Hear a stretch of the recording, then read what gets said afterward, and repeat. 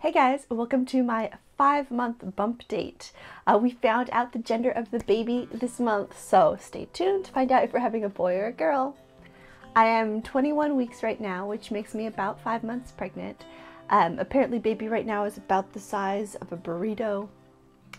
I can definitely feel the baby in there now. Lately, baby has started uh, hearing things a little bit. I'm not sure if I can directly relate any movement to anything audible, but I feel like that might be the case. Baby has been practicing swallowing and breathing lately and apparently recently grew eyebrows. Myself at this point, I have gained 7.6 pounds since I started this pregnancy journey. I feel like I still have plenty of room to grow. Um, I had a, a slow start, as I mentioned last time. Um, I actually lost weight during my first trimester, so every time I'm gaining, it's a good it's a good sign for me. Cravings, um, I think chocolate actually lately, um, and generally cold things, but that can also be attributed to the fact that the weather is warming up. So chocolate ice cream has sounded really good to me lately. Um, also just ice water. I also got my hands on some Heineken Zero, and that stuff is actually really good. I wouldn't normally say I was like a Heineken fan, normally a craft brew girl all the way, but if you're looking for something that tastes like a Pilsner but has no alcohol, Heineken is your answer. I'm still having some SPD or pelvic girdle pain. Um, it kind of comes and goes in intensity. If I sleep on it well, then it's not as bad the next day.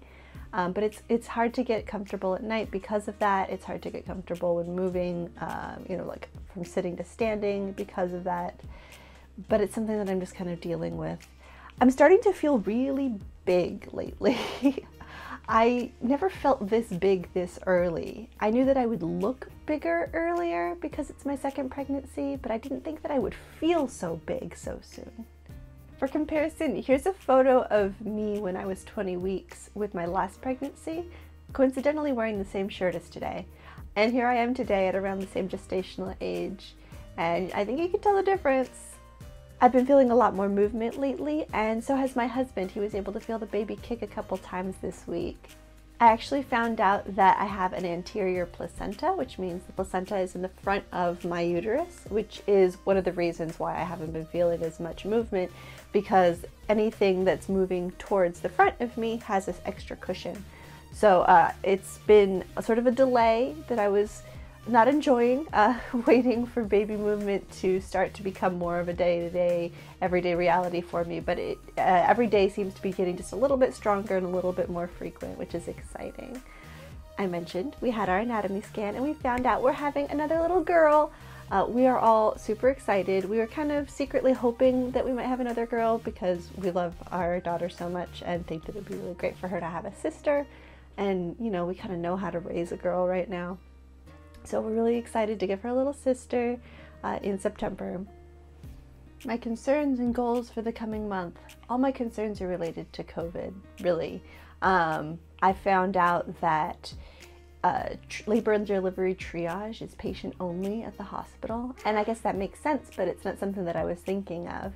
Um, they're still allowing a, a, visitor or a support person for labor and delivery, um, but that person has to stay there so they recommend packing enough food for the stay, as well as clothes and things.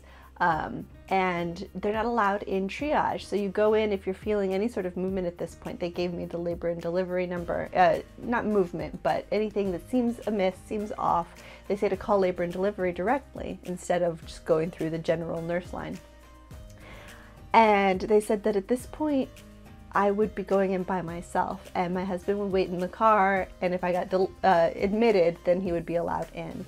Uh, it's just sort of another way that this whole pandemic is making pregnancy a little bit scarier than it should be. My anatomy scan was actually in the hospital building. Um, I think that that would not be the entrance used for COVID patients, but still, there was a whole screening process on the way in. It felt very TSA. On the bright side, check in was a breeze. There was like nobody in line. Um, but it was just really surreal to be inside a hospital during a pandemic and everybody's wearing masks, of course. And um, it's been in a while since that appointment, so I didn't catch anything when I was there that I know of. Um, it was just really weird, and I, I felt like, what if I'm the silent carrier who's going to infect all these people in this hospital? Um, you just, it makes you really paranoid, I think. And so it's a good thing that um, most of my appointments are going to be switched to telehealth visits at this point. I've had two so far, um, just you know, phone calls with the doctor, and they took my weight over the phone and just sort of discussed what's coming up and what the concerns and things to look out for are and stuff like that. Um, I they have ordered a blood pressure cuff for me, so I'm gonna pick that up and start monitoring my blood pressure weekly as well as my weight, so I can keep track of that. Um, they said they don't usually monitor gestational diabetes symptoms until the third trimester now. When I was pregnant with my first, they were having me pee in a cup at every single visit the whole time through. Um, and so that was just normal. But this time I noticed they weren't doing that. She said that, yeah, they're not testing for protein in the urine early on unless you have an elevated BP. So I don't think I have any of those risk factors, um, but I do need to start monitoring my blood pressure now as I'm going to move into the later, you know, half and third of my pregnancy. So I'm to learn how to do that. But my next appointment actually is going to be an in-visit appointment um, at 27 weeks that may be before or after the next video. I'm not sure, but we'll find out. Um, and that one is going to be my glucose challenge, so I have to go in in person. I also get my Tdap booster at that time as well. Um, if you weren't aware, it's pretty standard to give pregnant women um, a Tdap sometime around 30-ish weeks, I think. Um, and basically that passes on some of that immunity to the baby. So even though I've had a Tdap like two years ago when I was pregnant last, um, and so I'm not due for one for another 10 years, um, but they give it to me now and I pass on some of that immunity through the placenta and that way it's a little bit of an extra layer of protection before the baby starts to get their first shots at two months old. And also, if you've never done it before, the glucose challenge is where they test you if you have gestational diabetes. Um, and the way it works generally is you have the one hour test that like everybody has to take. You drink this whole flat Gatorade bottle, and then an hour later they draw your blood and they test um, just the glucose in your blood to see if you have enough insulin in your system. And I don't really know how diabetes works, but that's what they're testing for is gestational diabetes. If you don't pass the one hour test, you have to take a three hour test. I passed the one hour test last time. I have no expectations of failing it this time.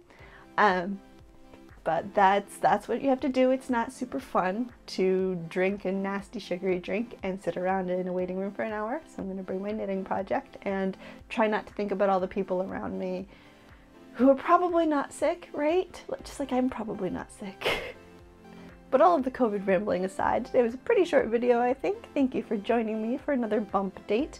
Uh, there's a playlist of all of those if you want to check out how my pregnancy has progressed so far and I look forward to seeing you in the next one next month. But in the meantime, do subscribe because there's more videos coming out all the time, twice a week. Next Sunday's video is going to be a video about my baby registry um, and my wish list for my second pregnancy, things that I think are essential that I'm going to need to stock up on, things that I didn't get to try with my first pregnancy that I'm interested in trying with my second baby. So check that out next week and I will see you then. Thanks for watching. See you later.